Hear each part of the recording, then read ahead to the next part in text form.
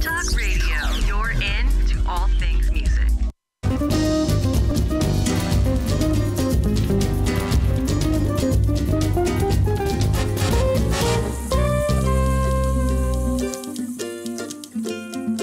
Welcome to Making It with Terry Wollman, the show that explores the secrets, successes, and strategies for making it in the music biz. And now, here's your host, Terry Wollman.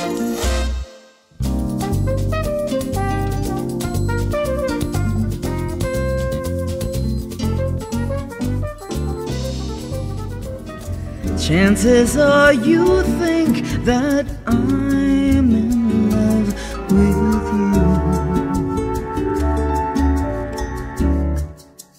you. Just because. Welcome to the show, and thanks for tuning in. I want to say a quick thank you to my guest on last week's episode, world renowned pickup designer Seymour Duncan. If you didn't get to hear it, you can listen to all of our episodes at entertalkradio.com slash making it or download our app and take us with you. Be sure to tune in for upcoming episodes with bassist composer Nathan East and music manager, author, and creator organizer of We Are the World, Ken Kragen. We also have a unique one year anniversary show scheduled that I'm very excited about with special guest host Melissa Manchester, who will be interviewing me mm-hmm. as her guest artist. I'd like to take a moment to thank the companies that helped me sound my best in the studio and on stage. Blue Microphones, Seymour Duncan Pickups, Taylor Guitars, Mesa Boogie Amps, D'Addario Strings and Planet Waves, Motu Digital Performer, IK Multimedia, and Exotic Effects. So often I get asked questions about the creative process, so I created this show to focus on what it takes to have a lasting career in the ever-changing landscape of the music business. You're really in for a treat as I've invited my friends some of the best and brightest in music to share their stories on how they have influenced the music that has shaped our lives. I guarantee you're going to love it. So let's get started. My guest this week is singer-songwriter Melissa Manchester. Hello, my friend. Hi, Melissa. Let me tell you a little bit about Melissa. More than 25 years after Melissa Manchester released Tribute, her 1989 album that honored the great female singers who influenced her, she turned the tables with The Fellas, a radiant homage to Frank Sinatra, Mel Torme, Tony Bennett, Dean Martin, and others, and the iconic songs that they made famous.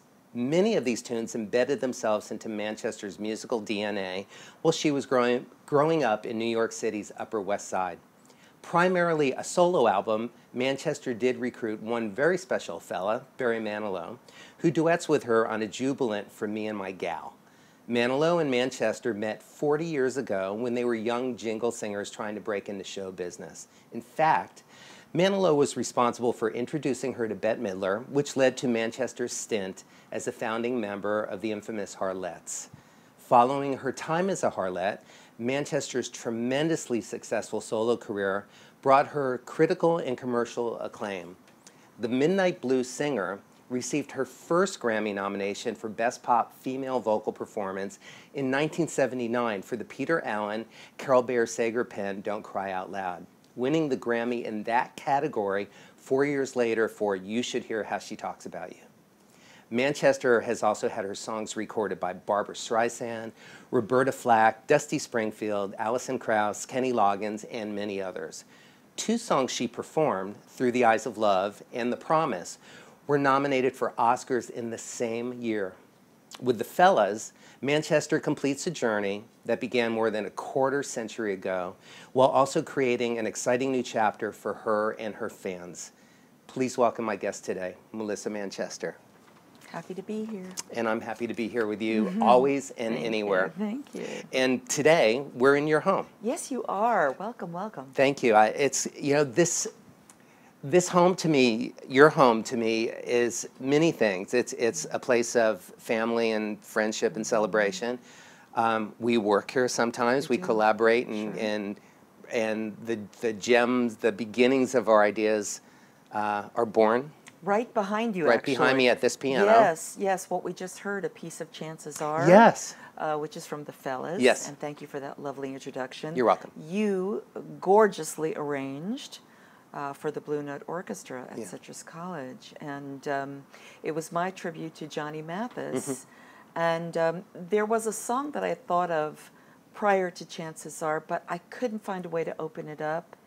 And you arranged the only song on the fellas that is completely rethought and re redressed Reimagined. in reimagined Yeah. entirely. And um, and uh, I remember us sitting right there, and um, I, I, the thing about chances are is that there was this um, what I call an uh, uh, an intentional comma, an emotional comma, uh, after each uh, each time the phrase "chances are" is set up with a new idea that follows, and um, and it it had this luscious space to fill as a bossa nova or a samba or whatever. Mm-hmm. But uh, you did such a glorious, glorious job. Thank you. Mm-hmm.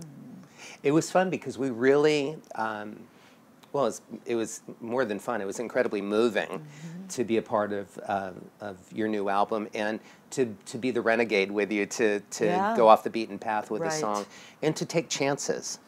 Well, you certainly did Yeah. because when we were in the studio and that opening section with just the strings happened and it was it it had no I, I didn't know where we were going and I thought, uh oh, oh no, we're good. Right. it was beautiful. well, that, that was part of, I wanted to build a world. you did. that that Absolutely did. didn't exactly tell you where you were going except into beauty right. in some way. Right. It unfolded. It was gorgeous. Yeah, and and it continued to unfold through the Mm-hmm. through the arrangement and your performance, um, and it was really um, a great experience to to work with the, the with the students. Yes. You know, let, let's talk about the Blue Note Orchestra and Citrus College for for a moment. Sure. Uh, I'm uh, artist in residence there and have been. I was invited to be artist in residence by the former head of um, the Performing Arts Department, Ben Bollinger. And in the beginning, you know, I did a concert and used some of their citrus singers and their citrus singers are spectacular. Just in the month of December, they do over 50 concerts Right. All around the country, overseas. They're spectacular. They are. But more recently, um, I recorded my 20th album, You Gotta Love the Life, which you co produced with me. And one of the reasons is because prior to that, you were kind enough to explain to me what this new world of an independent artist Right. and what crowdfunding meant. And that it was part of this new paradigm for the marketplace. And, um, and so, so I sallied forth Yeah, into the world bravely, you you did very courageously. in spite of uh, trembling hand and foot. Understandably. Yeah, and and we were invited to use the incredible studio at Citrus College, Mm-hmm. um, and we did. And it was my return to to making an album with my band and, and fantastic musicians Mm-hmm. who were your colleagues and my colleagues, and in that experience. Uh, because of your connections and mine, uh, suddenly Al Jarreau was coming in Right. and Dionne Warwick, and uh, you know I was meeting with Joe Sample and Right, and you know, Stevie Wonder, Stevie Wonder, Dave Koz, right, yeah. and Dave Koz, and because because the studio at Citrus College, though it is state of the art, it is also a teaching facility, Right. and our engineer Tim Jaquette is professor of audio Mm-hmm. arts. Uh, during our time together there, a, a small group of engineering students would come in. And sit quietly Mm-hmm. Very and watch respectfully. reverentially. Is Yes, what I better think. choice of a word. Seeing, Yes. seeing how musical discussions would happen between you and the musicians and myself and me and the artists and and the many of the engineering students I would guess had never seen that because the convention these days is you make an album in your garage and the only person you actually talk to is the pizza delivery guy at four in the afternoon. Right. So there they were and even while they were watching all these discussions, Tim Jaquette, the professor, who mm-hmm. would look up at the screen above the control board, would ask the students while we're recording or setting up, why am I turning this dial? What is the effect I'm hoping to gain? And they would have to answer him very quietly. And I thought, my, there are so many layers of experience Right. happening here, and it was just, I mean, it was it was thrilling. Yes. And so after I too. came, right, Yeah. it was fantastic. So after I came back from performing with the Citrus uh, Mm-hmm. Blue Note Orchestra in Hawaii, uh, Dean Bob Slack, uh, now head of uh, the um, Performing Arts Department, had asked me if there was an idea I could think of to incorporate the Blue Note Orchestra into a project of mm-hmm. mine. And I said, funny you should ask. And I explained to him about this this completion of an idea that started with the tribute album that I'd always wanted to complete with the fellas. So you knew immediately when he asked the question that this was this well, was it had the been album. lurking sort of over here. Right. So when when that opening came up, it was a done deal in Right. 40 minutes. Sure. And Yeah. um, and we ended up recording eight tracks Yeah. in one day. Yes. Yes. I'd never recorded eight tracks in one day, and the album was effectively done in two weeks. right. Yeah. Wow. And uh, And eight tracks in one day with an orchestra. yes. Not just the- eight tracks in one day. Right, right. Yeah. Well, we had the big band and the rhythm section the first day, and percussion the first day. Right. We had French horns and harp the second day, and we had the string section the third day done. Right. Right. Done, was, done, done, right. It was fantastic. Right. And the arrangers. It was it was like uh, air traffic control It with was. with Bob just saying, "Okay, you're next." right. And what was thrilling is because I did crowdfunding Yeah. again this Yeah. time, for those who had contributed enough, some of the fans were sitting in the control room the first day, and I mean, their heads were just exploding. Yes. They had never been through anything like this. And this this um, independent artist Mm-hmm. world that you have marched so bravely into, that I've invited Thank you, you, Coach. into, it's great, great to have you on the team. That's right. You know, one of the things that we really talked about and discovered about crowdfunding is is it's not just about an exchange of money. Right. It's an energetic exchange. It's it's an it's an invitation to our fans and friends to really become a part of the creative process. That's the thing. I had no idea that my fans would be so interested in the process. Right. I mean, for me, that's the filet of music. yeah, You know, yeah, yeah. putting it together. But but this this village that was created, Mm-hmm. where these sweet aunties and uncles had the opportunity to lean in. Yeah. And I remember uh, on our project, Yeah. the the release had to be delayed a little bit. Right. You know. Yeah. And and you know, I, I wasn't sure what the reaction would be, and everyone would say, "Don't worry, just get it right. Right. We're here for you whenever it's right." Right. I thought, "Wow, This is your fan base. Oh, it's just it was so Yeah. dear. It was really precious. And when we recorded uh, "You Gotta Love the Life," Right. um, the first album that we did together, Yes. I was a little concerned Mm-hmm. about being distracted um, a little bit by students and, and a little bit by the fans Mm-hmm. that had you know become part of this process and some invited to the sessions, Mm-hmm. and they wouldn't even get up to pee. they were so quiet. so true. they were they were so re- reverent and and in awe of the They just didn't want to miss anything. right, the creative. They did not want to miss right. anything. Yeah. And that's how I feel when I'm in the Yeah, studio. It's yeah, I'm yeah. I'm just mesmerized by our creative process and by our I mean yours and mine individually, us collectively, and our tribe. Well, I, yes, indeed. I speaking of that, I love the fact that you know you were there that first day. Doug Walter, our ranger, was there. Peter Hume Yeah. was there. Young David Catalan Catalan. was there, who was an alum of Yeah. Citrus. Nobody would leave. Everybody wanted to listen to everybody else's arrangement. It was so. Yeah. It was so glorious. Yes. I mean, it was so glorious. Yeah. It was beautiful. Yeah, I, f- I felt like part of a, an arranging family, you know, and uh, we did. We we were also excited to to hear what everybody wrote because. And you know what happens yes. is that the kids get it. This is not their genre of music. Swing, hard swing Right, right. is not their genre of music, but they are trained so magnificently by Bob Slack, you know, when we're not around. Yes. He is their guy. Right. And he he doesn't just teach them about music, he teaches them about life in real time. And and Yeah. the high level of expectation that they reach. And if they have the problem, he zeroes in on them and and explains to them why what they are doing is important, why they are part of a larger world that Yeah. simply didn't exist before they were Yeah. part of it. It's it's really fantastic because a lot of these kids are first generation college kids. Right. And um, you know, uh, when Barry Manilow, you were talking Mm-hmm. referring to him before, you know, when he came into Citrus to to hear the final version, the orchestrated version of For Me and My Gal, it blew his mind. I mean, Well, Barry's passion is music education and it music. saved his life. Music education saved his life. Yes. And so when he came there and he heard the rehearsing and the chatter and the vocalese by the students in the hallways, Mm-hmm. he got so excited. And and when he asked about what it took to get into this place, um, he was told it costs about 500 bucks a semester. Yes. And all you need to do is graduate high school to get in there because the, the professors will put you in a group that will most service your ability in that moment. But it's just, um, This is It's the an American dream, It really is, right? and it's a it's a beautiful example of uh, um, junior college. Uh, and I went to a junior college in Miami before I moved to Boston and went to Berklee, Wow.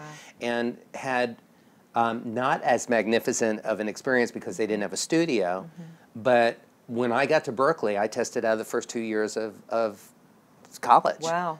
based on what I'd done in junior college, and Wow. That's and I knew I worked hard and I had great teachers, but that's when I realized the quality of education Yes. that I got at uh, an inexpensive school. right. And it's just so important and so fantastic, Mm-hmm. and and it's a privilege to to be able to be a part of their experience. It is a privilege for me. That is exactly the right word because I remember the beginning of my career. It never leaves you. Right. And for those who are just starting, um, they don't know what happens next. You know, they they Right. don't know what kind of stumbling will happen, what kind of triumph will happen, Mm-hmm. and to be able to to say whatever it is, this is a hell of a memory you've just created for yourself. Right. Keep going. Yeah. It's beautiful. You know, uh, we had the same experience with Stevie Wonder when he walked into the school. Well, That one was for the books. On I your mean, previous album. Yes, Yeah. yes. Stevie Wonder came in to sing on a song that I had uh, written with Tom Snow, and he, he came in to play harmonica. Mm-hmm. Yes. And he brought in his box of harmonicas and couldn't have been more generous uh, with his playing. He kept saying, "Let me, let me try this," or "Let me do. Did I do good?" You know. Mm-hmm. And uh, and when it was over, he he heard the kids, the small group of kids that were left on the campus because it was spring break, rehearsing in uh, one of the rehearsal rooms, and he charged down Right, he was the down the hallway. hallway. A bunch of us were running after the blind man who was running towards the rehearsal room, and he stopped at the threshold of the rehearsal room, and they were the kids were rehearsing, and and one of the girl singers stopped, and she she said she asked him, "Would you like to sing with us?" And he said, "What do you got?" And they said, We've been rehearsing Superstition. And he went right to the center of the band, surrounded by the horn players who were on bleacher uh, seats and, and the rhythm section that was behind him. And he sang. Yeah. And they played. And it was just thrilling. And all the grown ups in the room were weeping It was an delight. incredible moment I will never forget. Uh, we're heading into our first commercial Great. break. Uh, I'm here with Melissa Manchester in her home, Mm-hmm. and we will be right back, so stick around for more stories. I've got a lot of questions to ask you about The Fellas, the new record.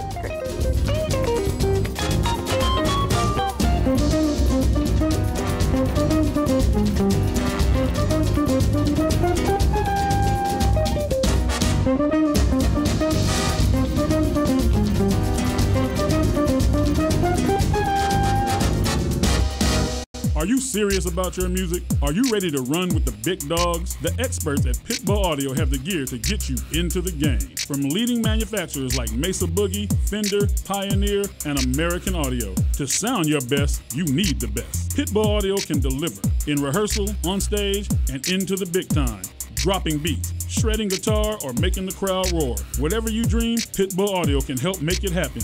We are Pitbull Audio. We want you to play it loud. PitbullAudio.com. You know what's all around you every waking moment of your life? Marketing. You're choking on it.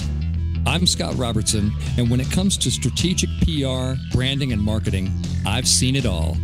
And actually, I'm still seeing it because bad marketing never sleeps.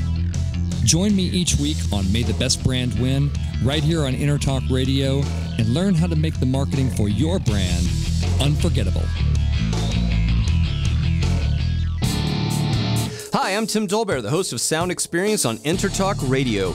Each week, I talk with top professional audio engineers, producers, musicians, and the manufacturers that make the tools that we use in the studio each and every day. From capturing the perfect take to mastering your final release, and the tools and how the pros use them, we are going to dive deep into their process and learn from their experience. I look forward to you joining us each week on Sound Experience with me, your host, Tim Dolbear. This is Jackie Bertoni from Jackie's Groove. Come join me weekly on my journey through the music business as I take you behind the velvet rope, interviewing industry notables such as Al Di Meola, Michael McDonald, and Al Jarreau, to name but a few. Listen to their stories on being in the studios recording number one hits and onto the stages throughout the globe. Allow me to be your music historian. You can hear me live every Monday at 2 p.m. and every Wednesday at 12 noon Pacific Standard Time or 24 7 on jackiesgroove.com. Ready to get your groove on? and you're listening to Making It with Terry Wollman.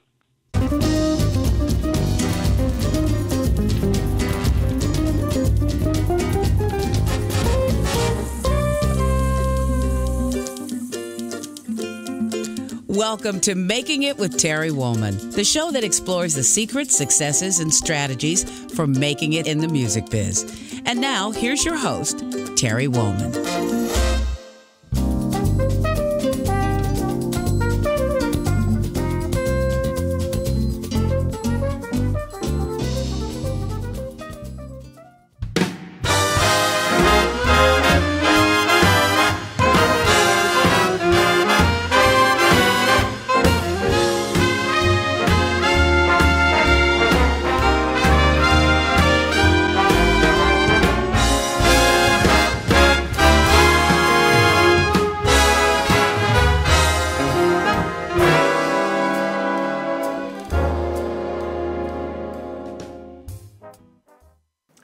Welcome back. I'm here in the beautiful home of Melissa Manchester.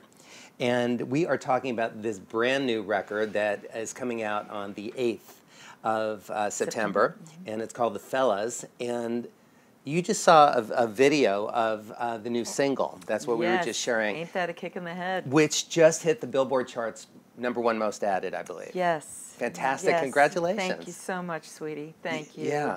And the video showed the Citrus Blue Note Orchestra. That's them playing with me. Yes. Beautiful. Yeah, it's you know there's there's something so magical about um, setting the bar so high and then showing them the the ferocity and, and passion that is required. Well, you know, I have eased into being the village elder. you know, I've Wow, had yeah. a, uh, you know, I'm I'm zeroing in. I'm up to about 47 years now doing this, Yeah. and um, for a long time I was the youngest one in the band and the Mhm. youngest one here and there, and um, now that I'm well seasoned and well into my career and my life Mm-hmm. um, to to be able to share this back and forth with young ones, or if I'm teaching, Yeah. you know, one on one, or with a, a crowd like the Blue Note Orchestra, it's really, it's lovely. Yeah. It's lovely. I always had a feeling, my parents were educators. Oh. They were not musicians or artists, but I always had a feeling that teaching would be somewhere in my DNA that and that the, really the most appropriate time to- to teach would be as I got older Mhm. when I had a point of view Yes. and something to say. Did you at a younger age think that at some point you would want to be mentoring and sharing I never thought about it. Because you were just touring and writing and Yes, I was very busy. and I raising a family and I was, yes, I did all of those. I raised my two kids. I toured. I wrote. I wrote for Disney projects. Yeah. I wrote for musical Theater, theater. yes. Um, and then I got a call from USC asking if I would take over a class that had been taught by uh, the theater composer Jason Robert Brown Mhm. To teach a very interesting class called um, theater musical theater writing for pop students. And I thought, okay, I'll be right over. Yeah. never, they said, would you, can you do this? I said, Starring Melissa Manchester. Yes, I can. And we, we, you know, at the end of the 15 Tuesday evening classes, we created a musical. And it was, it was unbelievable to not only create that, Yeah. but it was unbelievable to have a sense of, I know how to do this. I, I wasn't trained for this. I just had the life experience. Mhm. Primarily because of the childhood that I had. Right. You know, um, having a father who was a bassoonist in the opera, so I grew up backstage at the Met Opera a lot.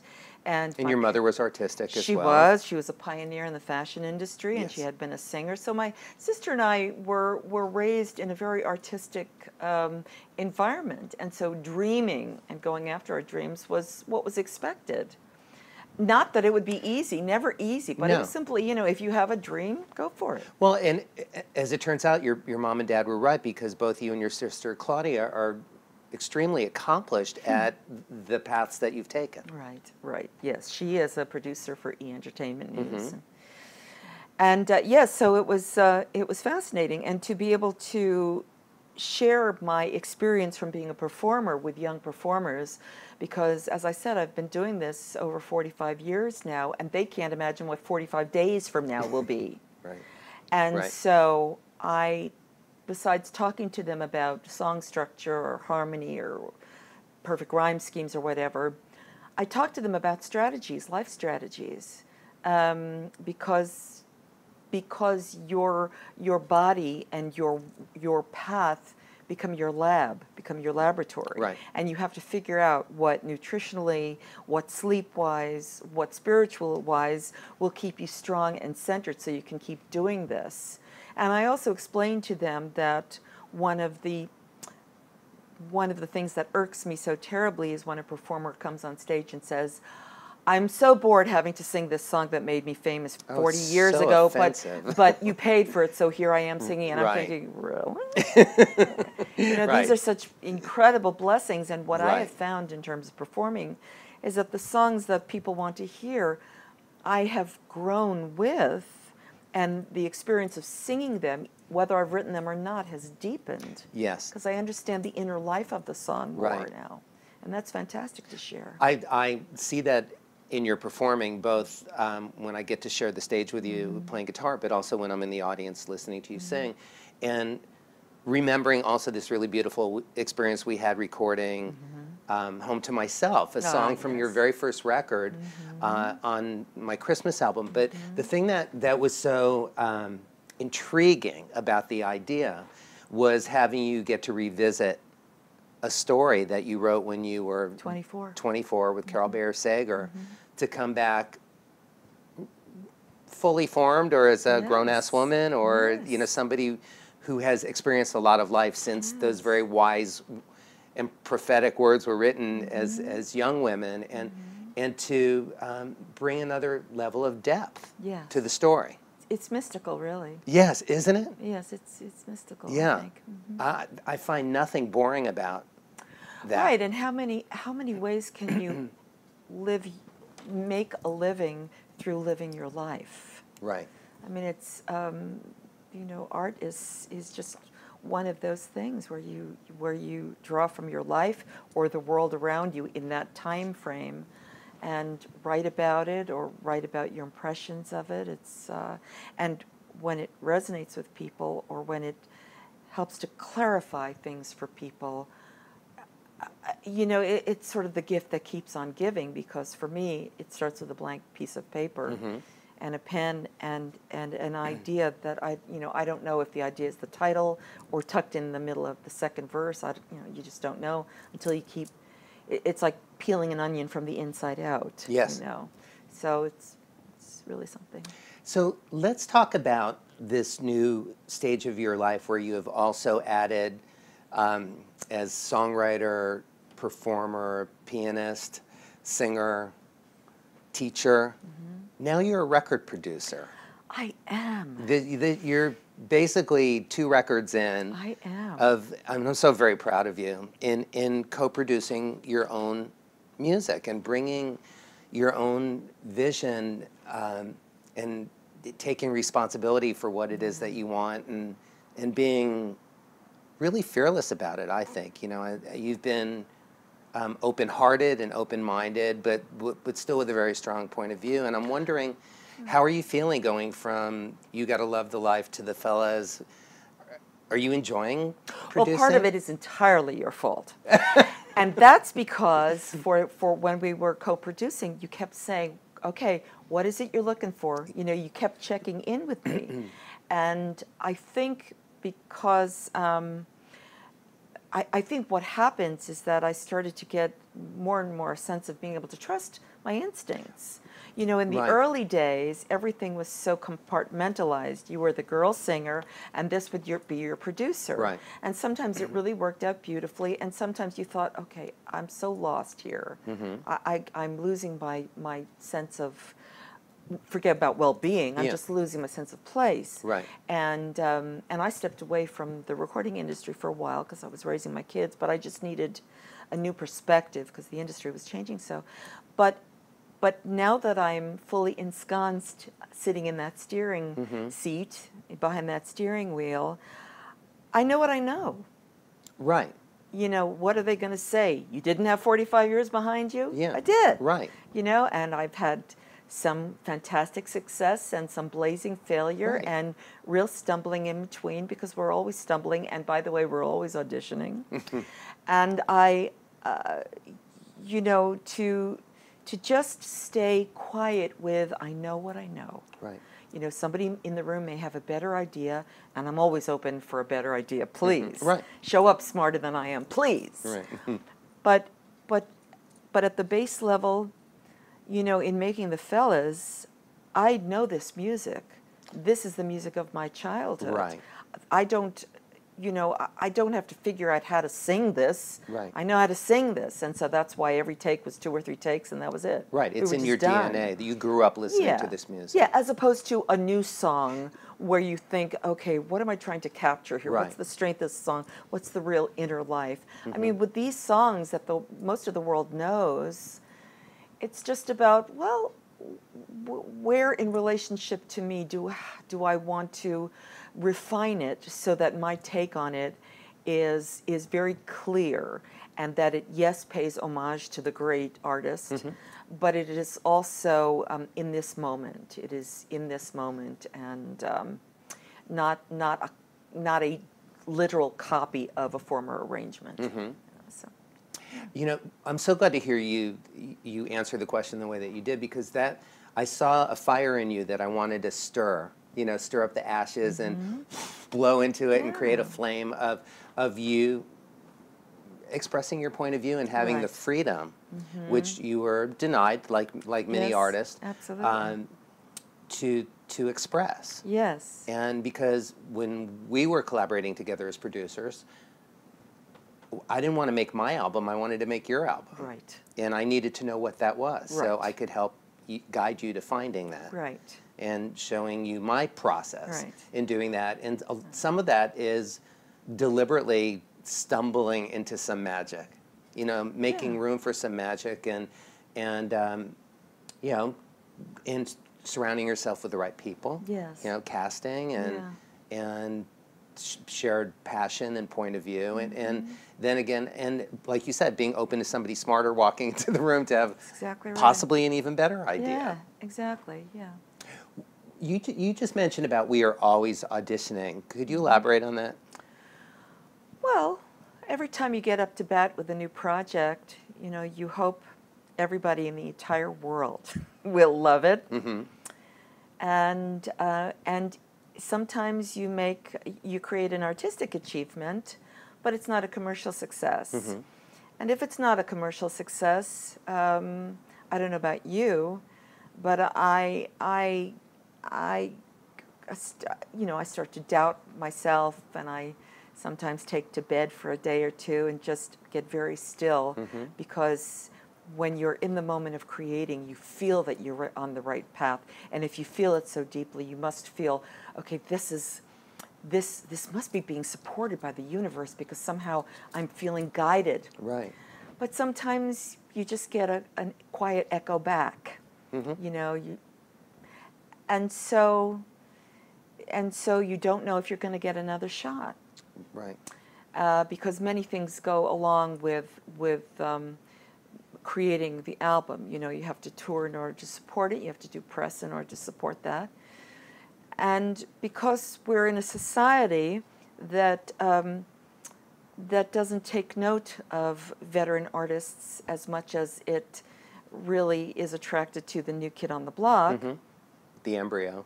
Yeah, you, you have Mm-hmm. to see how, you know, the, I guess the trickiest thing is to see how you can be relevant. Mm-hmm. The other side of that is because I've been doing this so long, I don't know that relevance is that terribly important. Um, it's it's another there's another sh- shading uh, there's another nuancing to being relevant because you know when you're in your 20s and 30s they want you to be current Right. and and you know I've heard that many decades of my career and that was never my interest. My interest was always to be timeless. And you know a lot of a lot of hmm. those execs at the record companies they, they barely can spell timeless. Mm-hmm. They don't know what it means. Right. and so i guess i was a handful sometimes to some of, of the record company presidents because i was you know i i more and more consciously bring forth the great artists that meant everything to me as a kid because they shined the light on me. Right. Uh, that's why I did the tribute album.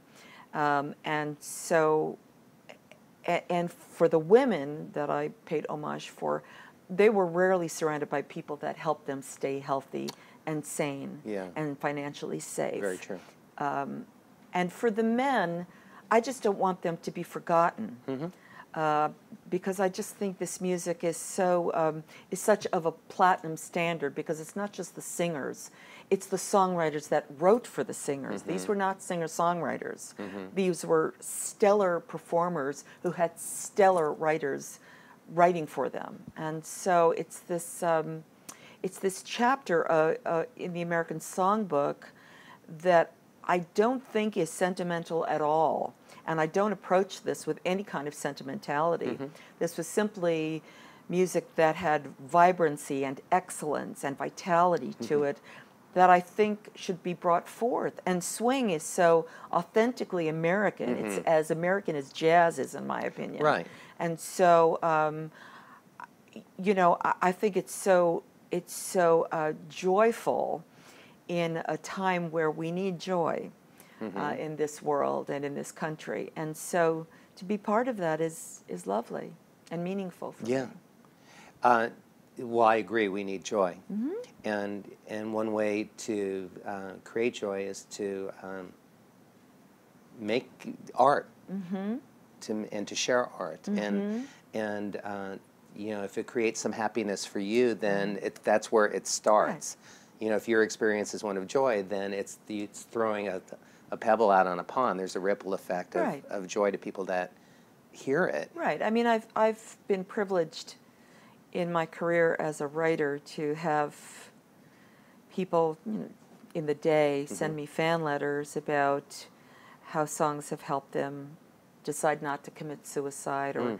help them while they were over in Vietnam or Right. help them decide to make a baby to my music or help them you know, or to walk them, you know, serenade them down the, the bridal aisle but sometimes you just uh, you just want to sing songs that are are just make you happy, you know.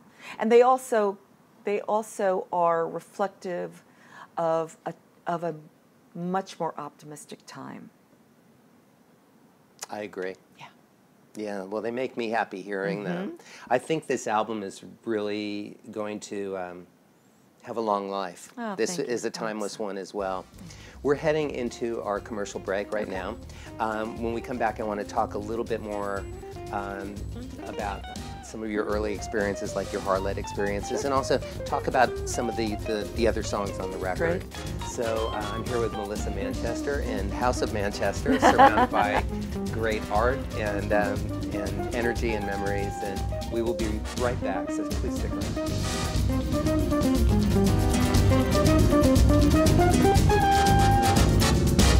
Hey, everybody, this is Phil Perry. Stay tuned for another portion of Making It with Terry.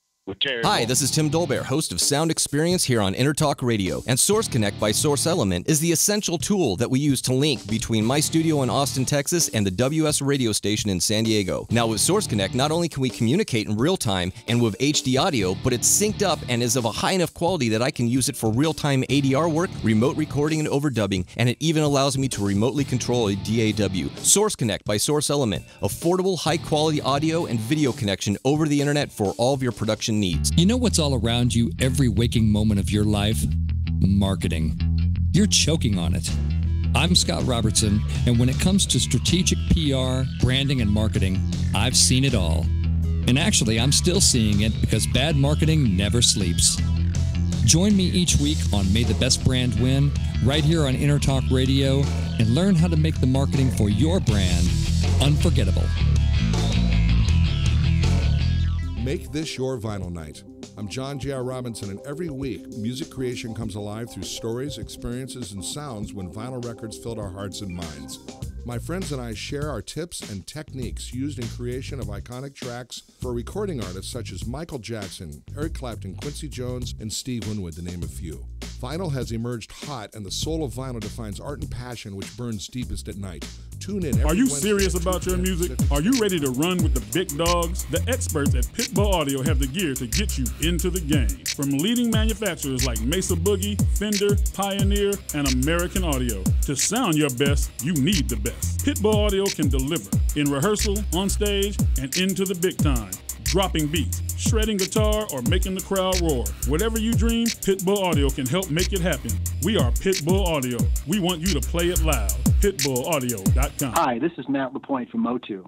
You're listening to Making It with Terry Wollman.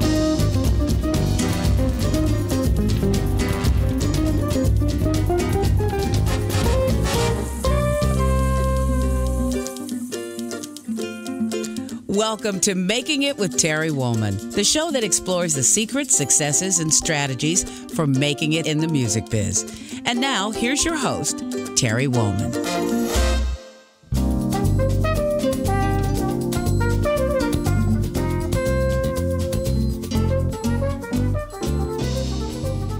Venus de Milo is noted for her charms. Strictly between us, you're cuter than Venus. What's more, you got. So let's cuddle in a corner and neat cozy little corner. Love is just around the corner. Welcome back. I'm here with Melissa Manchester. I'm loving talking with you. I always As do. always, It's yes. it's um, So easy. yeah, it is. So let's talk about this song that, that that we just heard. Well, love is just around the corner. It's just it's a simple little ditty, as they say. Yeah. But uh, I was well, I was doing research for to find the the appropriate song to represent each one of these fellas. I uh, I checked in on YouTube one night at around two in the morning. I had my phone. I was here. I was looking at Mel Torme references, and I saw him performing this scat tour de force Yeah. uh, George Shearing was playing piano, and I thought, okay, what? what just happened? and I thought that's that's what I have to do because on on tribute I paid uh, tribute to Ella Mm-hmm. To Ella, Fitzgerald yes. with her Lady Be Good scat, and uh, and Mel's was so ridiculous. Yeah. Uh, and it had never been orchestrated before. And I thought, oh, yum. And again, young David Catalan, who is this, it, besides being an alum of Citrus College, he is a horn player. Mm-hmm. Yeah. And so he understands that world so fiercely. Right. And he wrote this ridiculous arrangement of Love's Just Around the Corner. Yeah. And there I am doing the scat with, with the horn section. And, uh, and to do it live now is just, it's just wild. It So- looks like you're having a ball when you sing a it. ball and a half. Yeah. But it's so when I was recording, it was so exhausting. Yeah. It was really exhausting because you, you, I had to learn this piece uh, phonetically and section by section, Mm-hmm. And so you're doing extremely intentional listening to what Mel is doing. Right. And um, and I had faith that one day I would be able to do it at the speed with which he did it. Uh-huh. But until I did it, I would practice it section by section, very slowly, just to get my jaw and my tongue and my mouth muscles to just relax so I could get it out. Would you practice at the piano playing chords or I wouldn't walking practice around at the the piano. house? No, no, no. I no. I I practiced um, usually driving in the car. Mhm. Uh, he would be singing with me, and I would just learn it You'd sing with piece by piece. You know, Yeah. because if you're driving, you know, It you're frees not. up a part of your yeah, it does. It does exactly. It frees up a part of your brain. And so, uh, so now I do it, and I wonder what all the problem was. but that's you know that's the world of scat. But Yeah. it's just. Um, it's so dear. You know, you know, Mel was one of the artists that was kind enough to record a song of mine, and so to pay him back Yeah. and thank him in this way It was just fabulous. What are those experiences like for you? What have, have they been like when you have Mel Torme or, or, or Barbra Streisand sing a song that you wrote? Well, uh, it's, it's larger than the sum of its parts because, as I said before, I remember when singers would have great writers write for them. Yes. So to be a singer songwriter, but still to have the experience of having a great so- singer like Streisand or Roberta Flack Mhm. or Alison Krauss, Mhm. Krauss, you know, sing your song and bring to it, bring to it their interpretation, which it's not just unique; it's very often better. Yes.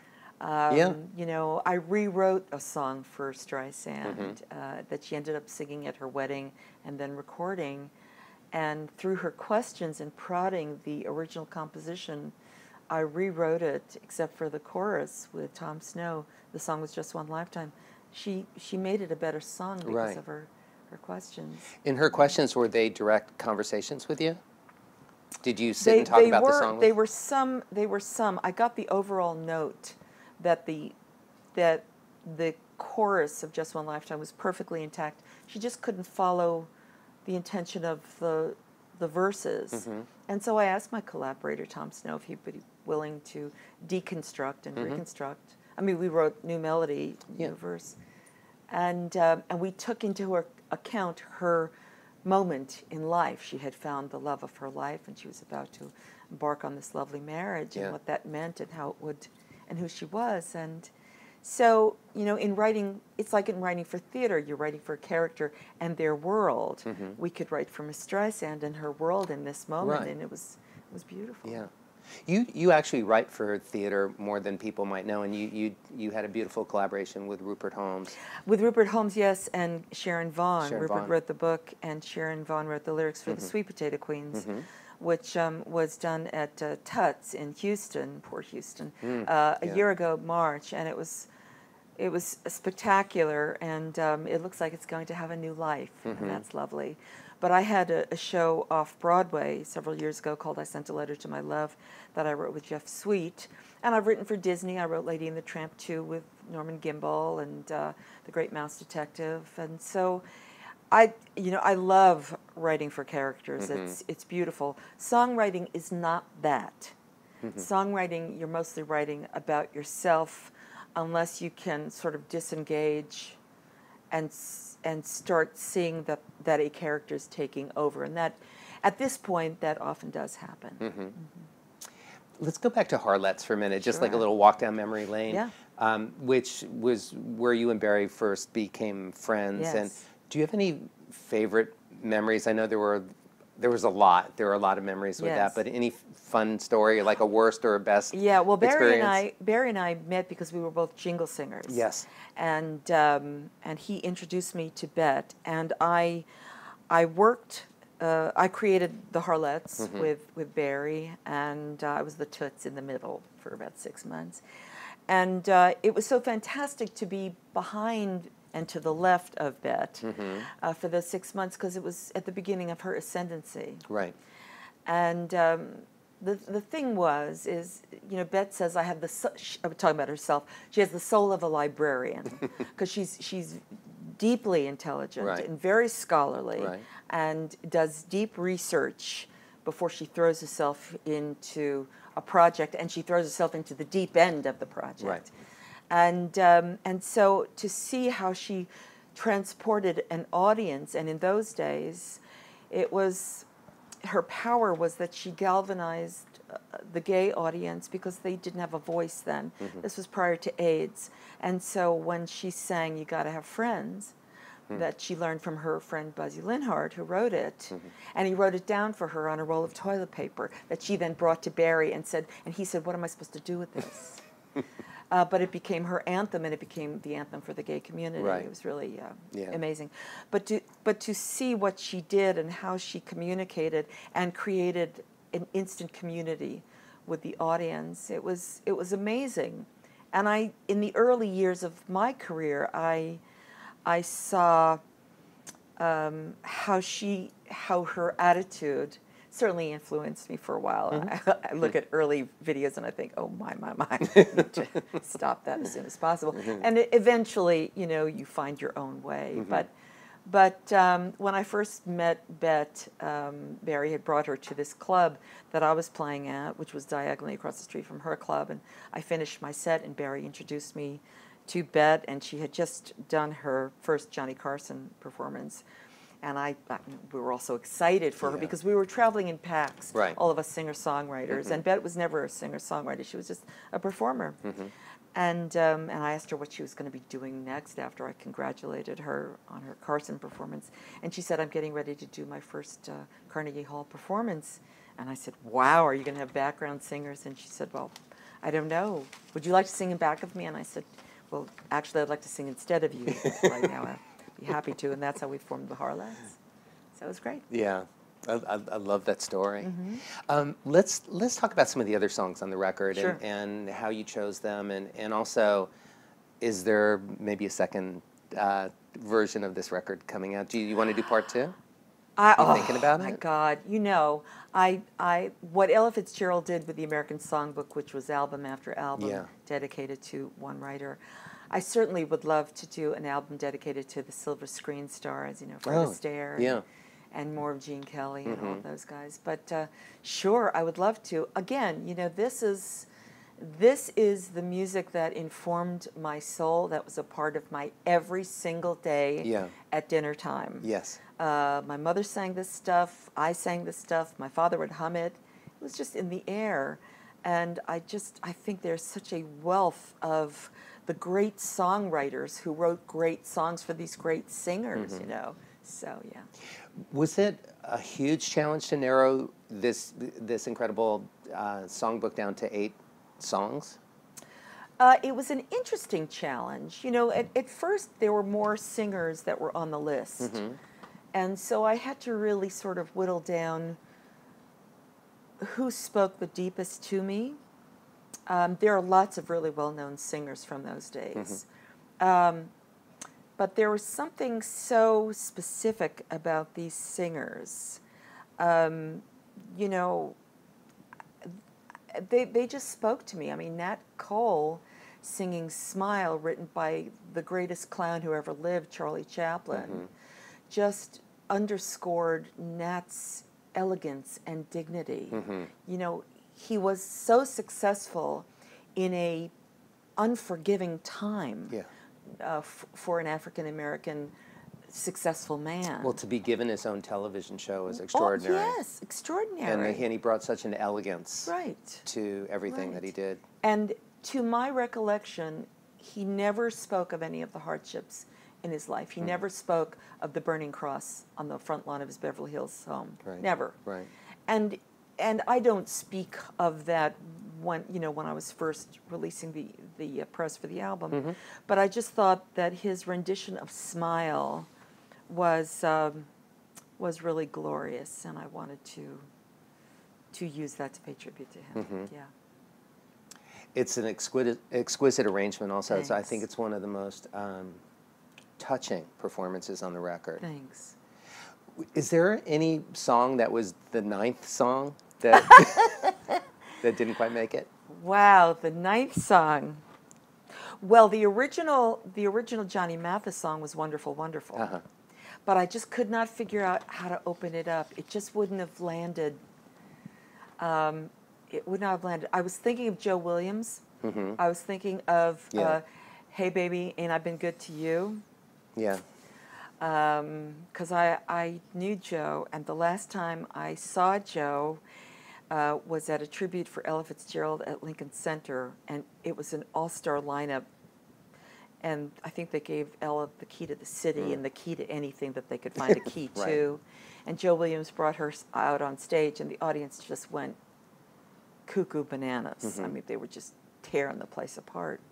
And we were all on stage, and and they wouldn't let her off the stage. And finally, they did let her off the stage, and and Joe escorted her, and she was walking past me, and she turned her head to me, and she said, "Did I do good?" Oh.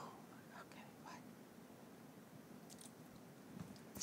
We are coming to the end of our conversation talking about The Fellas, your new record. Mm-hmm. I, being that this is a year of, of doing shows and you were my first guest, I asked you this question a, a year ago and, and I'm going to ask you again, but I'm going to remind you what your answer was. Ah. And, and I close every show with this question, mm-hmm. which is at this chapter of your life with mm-hmm. everything that you know to be true, what would you tell your younger self? A year ago, you said to me, whenever you feel panicked to make a decision, slow down. Mm-hmm. Slow down because that is the key to wisdom. Because in your slowing down, that's where you'll find your wisdom. Is there anything you would like to add to that or amend a year later? I, I would have given the same answer. It's in slowing down, which is really hard for young artists to do.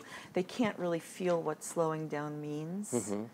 Um, slowing down is real, um, it takes real mental discipline. There is such a thing in the brain known as slowing down. Right. And whatever prayer or mantra or motto you have, to say it literally as slow as possible, in the, in the slowness of the recitation of it, the space between the words allows your highest self or God or whatever to come through with a better idea or the answer um, to the point where sometimes I just turn my head around and say, "Okay, thank you. I didn't. I didn't know that that would be my answer, but there it is." Right. Yeah, I think that that it still holds true. Slowing down is is the mother lode of wisdom. Mhm. Yeah. I would agree with that. The new album is The Fellas. The Fellas. Melissa, it's a beautiful picture. Thank you. And um, why don't you set up the, the last song? The last song is the last song on the album, and it's my tribute to Tony Bennett. This was not the first choice of a song that I was going to sing of his, but when I watched him sing it at the end of his 90th birthday celebration at Radio City Music Hall, mm-hmm. I thought, there it is. There is the statement, the question that is posited at the end of his incredibly long career. A career which he says has allowed him to see life as a learning experience, and I agree with that. Life Mhm. is all about learning. And it is, it, it is the metaphor of the question how do you keep the music playing? How do you keep life vital? How do you keep curiosity alive? And, uh, and when, I, when I recorded it, those magnificent lyrics by my friends Marilyn and Alan Bergman, Mhm. it's such a interestingly structured monologue.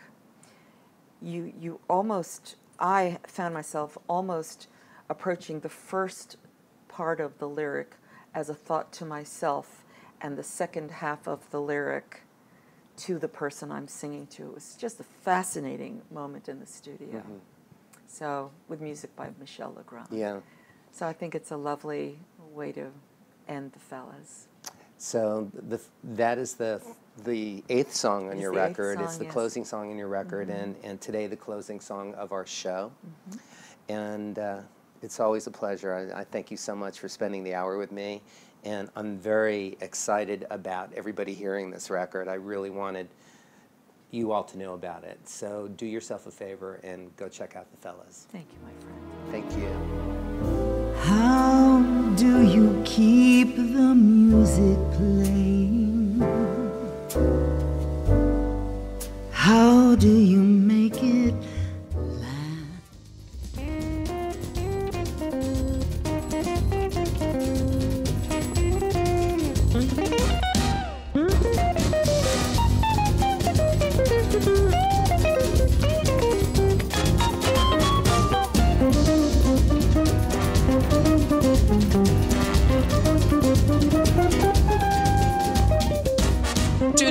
next week for another great episode of Making It with Terry Wollman. This is Jackie Bertoni from Jackie's Groove. Come join me weekly on my journey through the music business as I take you behind the velvet rope, interviewing industry notables such as Al DiMeola, Michael McDonald, and Al Jarreau, to name but a few. Listen to their stories on being in the studios recording number one hits and onto the stages throughout the globe. Allow me to be your music historian.